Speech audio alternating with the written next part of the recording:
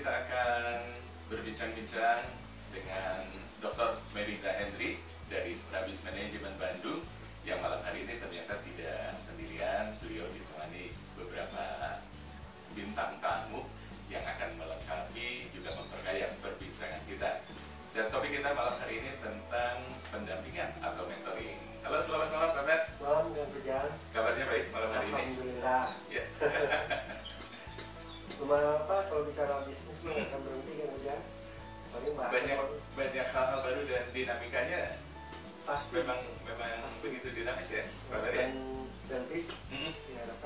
diharapkan bisa menjembatani kita terus Oke. belajar belajar dan Hmm. belajar karena ada belajar kita harus di kelas belajar di radio belajar di inspirasi itu penting saya jadi teringat sebuah quote kalau ya. Ya.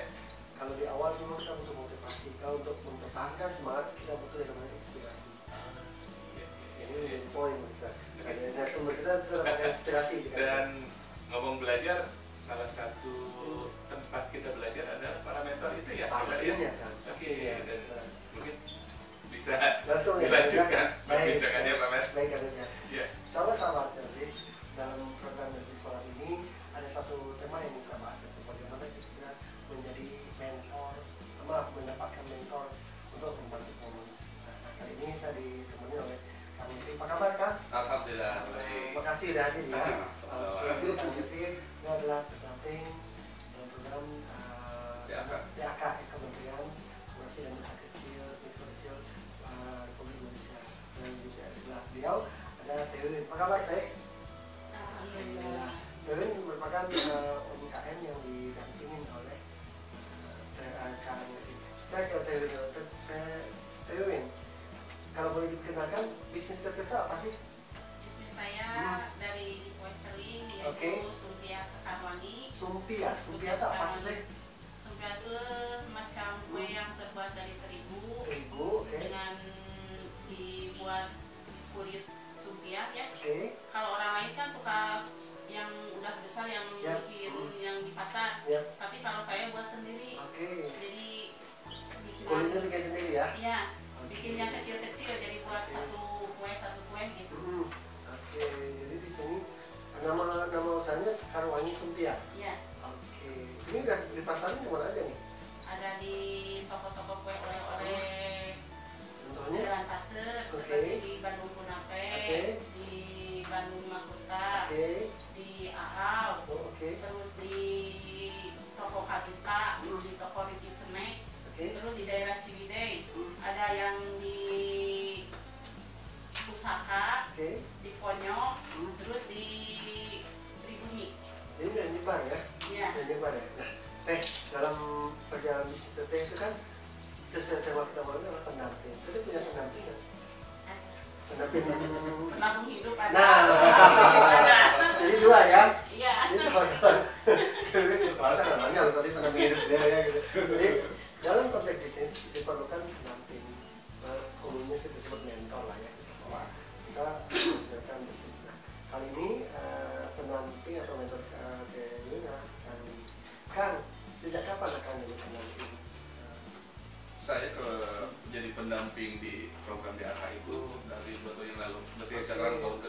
Tahun kedua ya? Ya, Oke, oke, betul. oke, oke.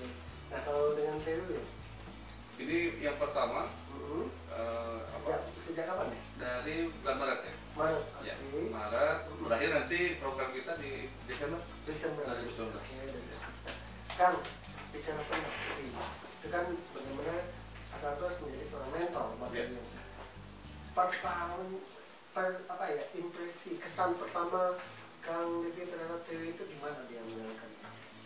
Ya, yang yang pertama dilihat itu memang luar biasa sebetulnya. Si Tewe ini selain dia buka bisnis, juga dia seorang karyawan juga Oh, masalahnya. oke. Dia dapat makin fokus dari awal juga bahkan luar biasa. Ini kompleks nih ya, Ya, kompleks, kompleks. Jadi ya. antara mengatur jadwal sebagai pebisnis juga sebagai karyawan. Karena sebenarnya cuma satu doang ya. Ya, itu luar biasa. Oke. Tapi alhamdulillah luar biasa sampai saat ini masih tetap bertahan. Pertanyaan saya, Kang Devi waktu itu mau maju? Justru sekarang itu maju terus. Oh. Bahkan sekarang lebih istilahnya lebih melihat membuka Hmm. bagaimana istilahnya apa ya treatment apa oke yang bisa diterapkan ini kan kasus baru nih udah kayak dokter ah kasus baru kenapa ada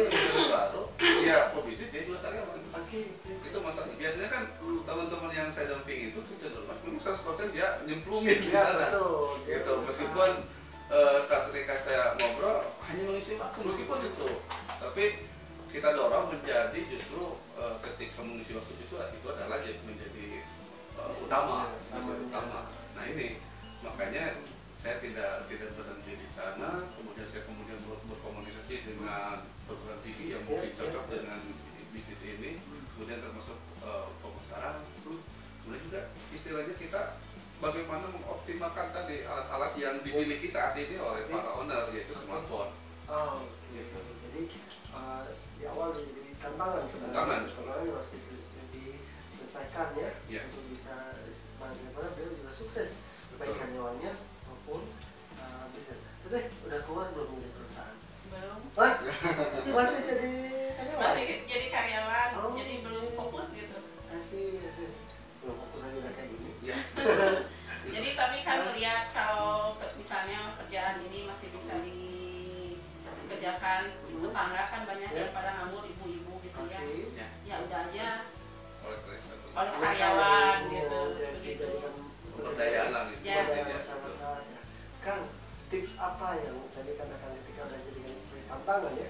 Tips yang akan gunakan menjadi pendamping sukses buat dia ya intinya kita jaga komunikasi satu ya. Hmm. kemudian eh, kami mencari informasi yang tepat kemudian eh, treatment yang tepat juga. Oke. karena memang susah juga pak. Betul Ah, terus terang ketika oke. ketemu juga susah.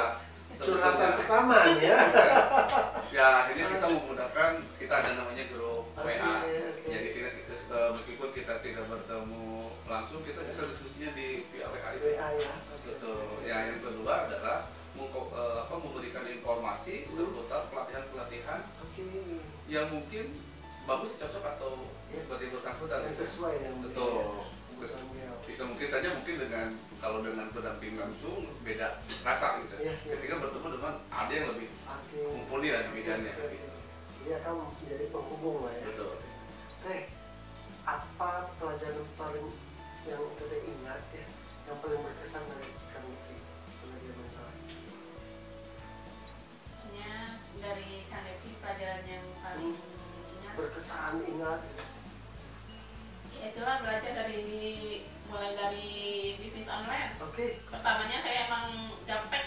jadi nggak pernah pakai apa pun? enggak Oh. belum Oke. jadi jadi daftar di Google Bisnis Hmm, hmm. jadi di ada yang di Facebooknya yang Facebook Sekarwangi Hmm. khusus yang Sekarwangi gitu jadi jadi tahu pertamanya saya belum terjun ke online Pernah kesel nggak sama Kalian yang dipaksa-paksa gitu, gitu. Kudu jadi, kudu bisa gitu. ya nggak kesel sih enggak tapi kesel pada diri sendiri kenapa gaptek gitu Nah, Kang, ya kenapa saya gaptek? Itu kan menjadi dasar sebenarnya permasalahan Teh Win. Iya. Nah, dalam konteks pendampingan kita kan harus bisa membantu menggali potensi dia sendiri.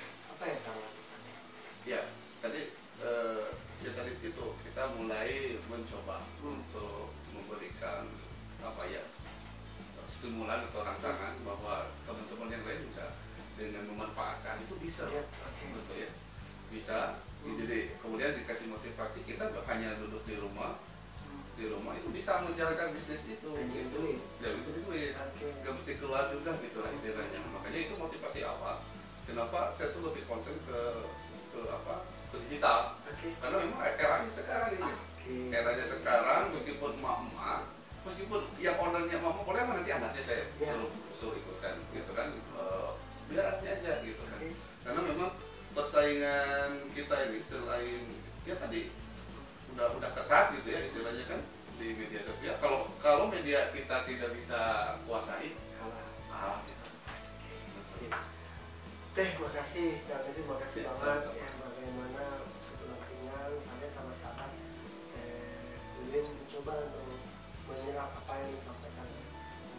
kemudian ya menyampaikan masalah yang dihadapi kemudian menjalankan cara bagi nah, sehingga jadilah bisa ini ini sesuatu seolah ini substansi dari Oke, buat gue saya gitu, sampaikan ke sahabat bisnis nama perusahaan di Instagram sama nomor HP yang di oh, eh, bisnis saya yaitu sumpia Sekarwangi, hmm. terus keripik bayam Sekarwangi, hmm.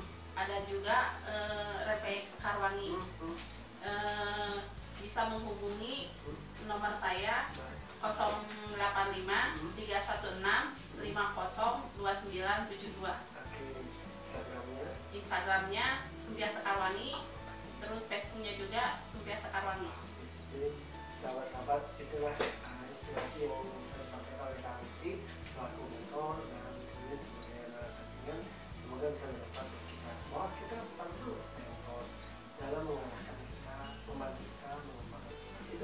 mungkin yang kerjaan.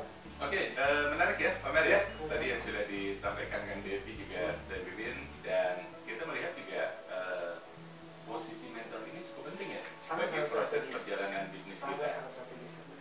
Oke, demikianlah sahabat Careline, sahabat Belbis, Belbis kita hari ini Jumat 11 Oktober 2019. Tentu kita akan sudah kembali di Belbis mendatang.